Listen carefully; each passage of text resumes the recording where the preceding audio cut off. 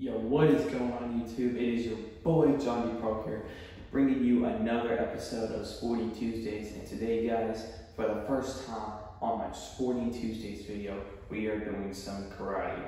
Now, the thing is, I've been doing karate for a long time, but uh, I had to be taking breaks here and there. And uh, my coach, uh, my favorite coach of all time, who actually spent his time to help me get my black belt. Uh, retired the last day I was doing karate for a while, so um, this video is in his honor. So today, guys, I'm only gonna do like one karate combination, but I'm gonna make it worthwhile since I've been gone for a while. So today, guys, we are going to be doing a karate combination where it is jab, high punch, hook, uppercut. Now, before we even get into the combination, I'm going to break it down step by step. So there are four moves we're doing here. The first one is jab. It's basically just straight out like that. You want to make sure you hit it fast make sure you have like this, like control of motion kind of. Next is high punch. It's kind of like a jab, except you're moving your foot and it's like you're driving it into it. Gotta make sure your hips are moving and your foot, back foot like this is moving. Now for a hook, you wanna go like this and you wanna move both your feet. You wanna make sure you maintain your balance like this so that way you don't fall.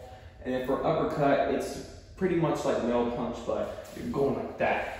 And you wanna make sure you aim it up towards this guy and not by your face. You don't wanna hurt yourself like on purpose. And also make sure you up to with the feet. So once you do that, this combination will go just like that. Also guys, if you want to feel free to do this on your own, you are more than likely to. It is no problem at all. And I really appreciate y'all supporting me for the past few days and weeks that I've been gone, so it means a lot to me. So I'm gonna do this five times and then we'll see how you guys do.